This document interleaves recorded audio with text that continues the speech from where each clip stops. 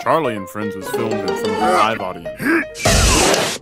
Don't let your kids watch it!